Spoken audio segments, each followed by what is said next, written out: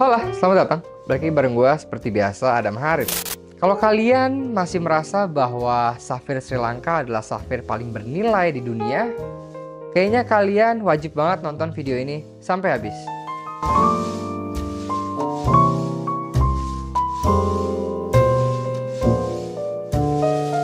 Di video kali ini, kita akan bahas soal sejarah dari penemuan safir yang pada akhirnya menjadi Safir yang begitu legendaris dan paling bernilai dan paling diburu oleh kolektor di seluruh dunia. Cerita ini kita tarik mundur ke belakang. Dari awal mula pertama kali safir ini ditemukan. Ceritanya di tahun 1881 di distrik Padar, wilayah Jammu dan Kashmir yang saat itu masih dikuasai oleh Maharaja Kashmir. Penduduk lokal sempat tanpa sengaja menemukan batu permata berwarna biru di sekitar wilayah tempat mereka tinggal di wilayah ini. Batu permata ini lantas kemudian dikenal sebagai Blue Sapphire asal Kashmir. Seperti yang tadi gue bilang, Kashmir dikuasai oleh Maharaja Kashmir pada zamannya. Jadi Maharaja Kashmir ini adalah penguasa Kashmir dari dinasti Dogra yang saat itu bernama Maharaja Gulab Singh yang pertama kali berkuasa menjadi penguasa Kashmir di tahun 1846.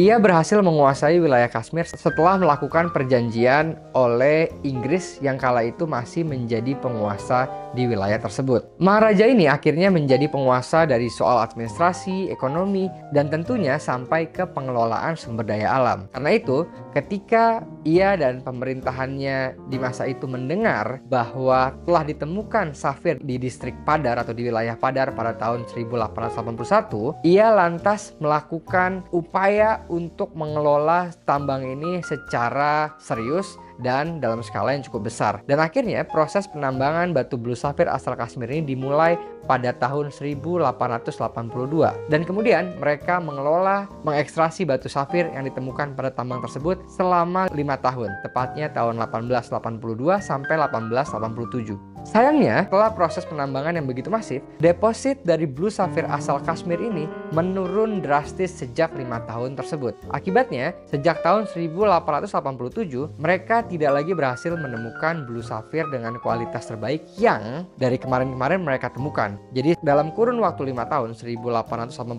sampai 87, mereka berhasil mengekstrak ribuan-ribuan kerat sapphire blue Kashmir dengan kualitas terbaik. Dan secara cepat, blue sapphire asal Kashmir ini mendapat mendapatkan reputasi yang begitu luar biasa baik dari lingkungan sekitar sampai ke dunia internasional. Karena blue sapphire asal Kashmir tersebut memiliki ciri khas di mana selain quality dan clarity yang bersih dan ukuran yang besar-besar blue sapphire asal Kashmir ini memiliki warna biru yang tidak kita temukan pada blue sapphire asal negara lainnya bahkan sampai mempunyai istilah yang disebut velvety blue Velvety blue ini artinya warna ini mungkin cenderung memiliki warna layaknya cornflower blue, tapi lebih tinggi daripada itu. Lantas, ketika setelah proses lima tahun penambangan tersebut, kualitasnya pun menurun, sampai-sampai mereka harus menggali jauh lebih dalam ke bawah. Dan ketika mereka menggali lebih dalam ke bawah, mereka juga tidak berhasil menemukan safir dengan kualitas yang baik. Sehingga akhirnya, secara ekonomis, tambang tersebut tidak lagi menguntungkan. Karena otomatis kan ketika proses penambangan menggali lebih dalam, biaya atau cost productionnya menjadi lebih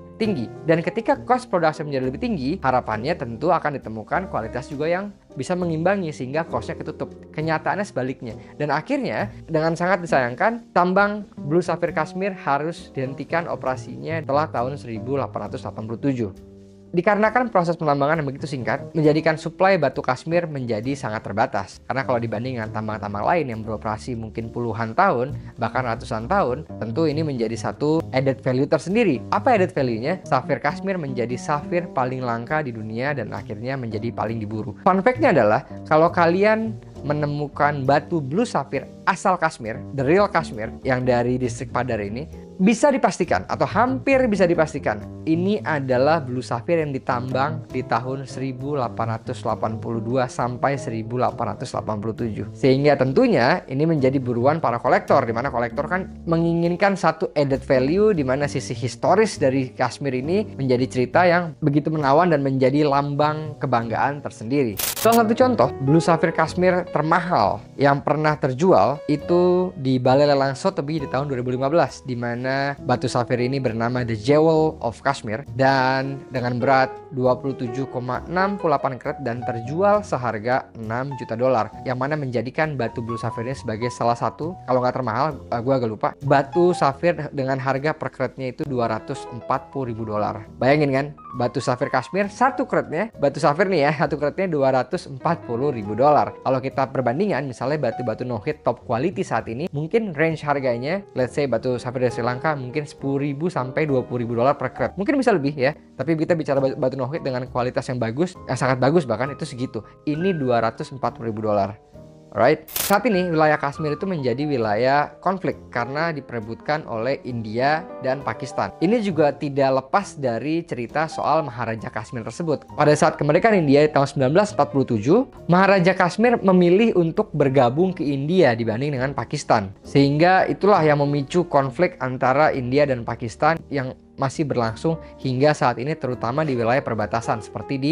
Kashmir ini. Nah sekarang wilayah Kashmir terbagi dua, ada yang India, ada yang Pakistan. Kalau di Pakistan ada juga ditemukan deposit batu safir tapi berwarna pink, purple atau bahkan ruby. Itu bisa kita temukan di Azad Kashmir yang diakui sebagai wilayah dari Pakistan. So, begitulah cerita soal sejarah dari tambang batu blue safir paling legendaris di dunia. Jadi bukan Sri Lanka ya, Sri Lanka betul. Sri Lanka juga merupakan tambang yang memiliki memiliki sisi historis, tapi dari statusnya masih jauh dari level legendaris yang dimiliki atau dipegang oleh Kashmir. Gua sih nggak kaget ya, karena melihat hanya tambang lima tahun, tentunya akan menjadi barang yang sangat amat langka. So, gimana menurut kalian? Kalian pernah nggak ketemu batu safir Kashmir yang asli?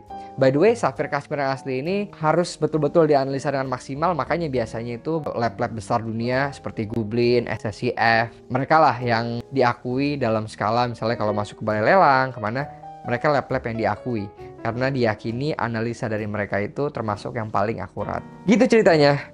Seru ya? Kalau kalian suka dengan cerita seperti ini, coba komen di bawah dan kasih gue ide tambang-tambang historis mana lagi yang kalian pengen gue bahas. See you on another video. Jangan lupa buat like dan subscribe channel ini.